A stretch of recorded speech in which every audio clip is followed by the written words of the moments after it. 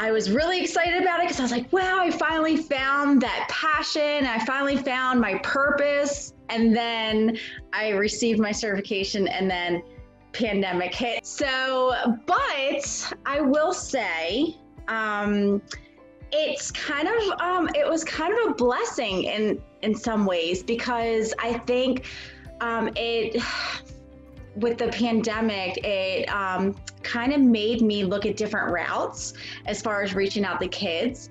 And I think that if it wasn't for the pandemic, I probably wouldn't explored the like the internet stuff or doing things through Zoom. Um, I think I would have went to try and do in-person stuff, and I realized that I could reach a lot more kids and reach a lot more parents um, in different countries.